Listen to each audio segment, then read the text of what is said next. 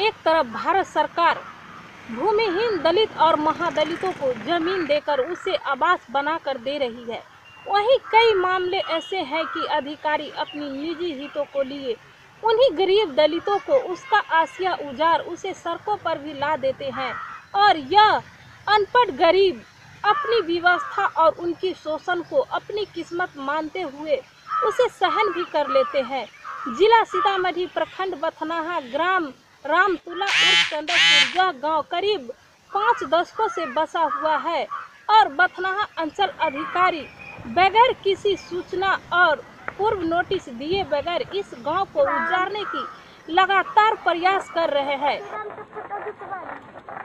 यो और कुछ गाँव का लोग मिल करके कहता है जो हटो बारम्बार आ करके धमकी देता है जो घर उजाड़ देंगे और मारेंगे।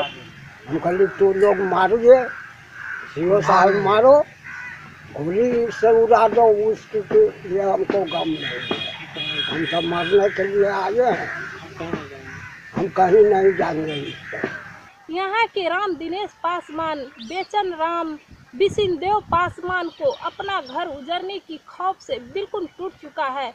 और यही खौफ यहाँ की लगभग 300 लोगों को बना हुआ है। परेशानी यही है कि मेरे यहाँ से गुजारने के तरीका लगाए हुए है सीओ साहब। कब से बसे हुए हैं यहाँ पर? तीस पैंतीस बरस से बसे हुए हैं। हमारे पास प्रूफ है। क्या कारण है जो वो यहाँ से हटाना चाहते हैं? वो पूछते हैं तो कोई था नहीं बता रहे हैं। कह रहा है कि हम बस स्टैंड लाएँगे तो लाएँगे कि हमारे बाबूजी मर गया इसी धरती पर। बाबा मर गया।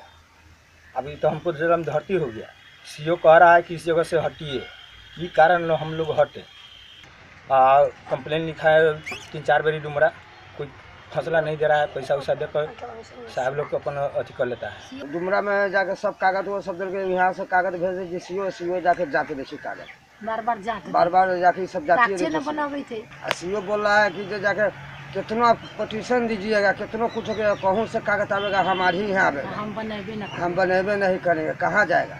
मैं दर्शकों से अपील करती हूँ कि जिला पदाधिकारी के इस नंबर पर फ़ोन करें। जो नंबर है चौरानवे इकतीस चौबीस दस अट्ठासी इस नंबर पर कॉल करके उसे दबाव बनाए और मेरे इस लड़ाई में साथ दे। मैं गुड्डी जिला सीतामढ़ी, बिहार, इंडिया अनहट के लिए।